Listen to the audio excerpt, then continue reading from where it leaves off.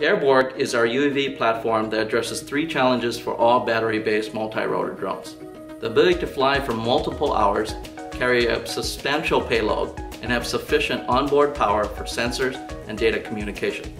We're introducing the Airborg H8-10K, a small cargo multi-function hybrid powered drone for extended flight and enhanced payload capabilities.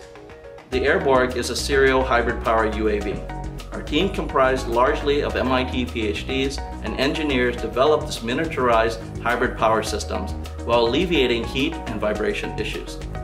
It uses readily available gasoline to generate the power that drives the lift motor and powers all onboard electronics. With hybrid engine power, you don't need to charge your batteries between flight. If you run out of fuel, refuel the tanks and immediately fly again.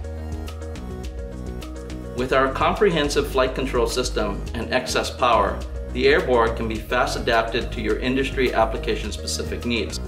We are able to customize our platform with sensors, additional safety features, different cargo, and custom landing gear. With the modular hardware design, parts are minimal and maintenance is straightforward. Flight control can be semi or fully autonomous with missions developed first in a simulator.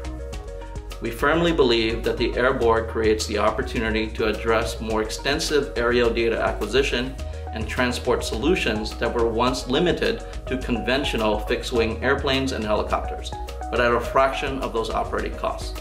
With the Airborg, our customers can complete more frequent aerial missions for any applications requiring integrated endurance, onboard power, and payload.